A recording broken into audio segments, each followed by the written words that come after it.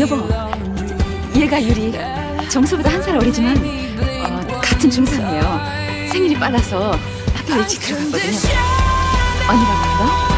네. 얘는 태화. 저 정수보다 세살 많아요. 이분이 임 교수님, 새 아버지. 얘는 정수. 안녕하세요. 안녕하세요. 자, 아직 늦었더라구나.